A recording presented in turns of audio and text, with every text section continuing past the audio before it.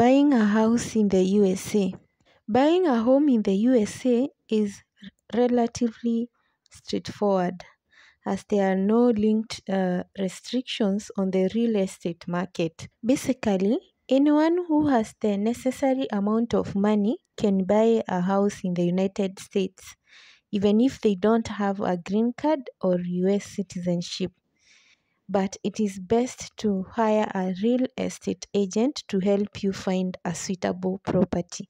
However, you will be faced with additional costs due to taxes, which you should include as part of the purchase price.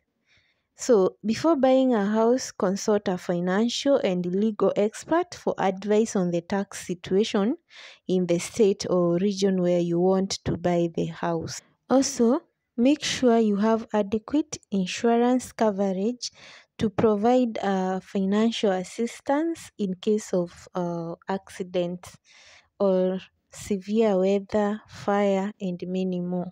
Check our channel for more information on immigration and please subscribe if you find this information useful. I hope to see you all in the next ones. Bye.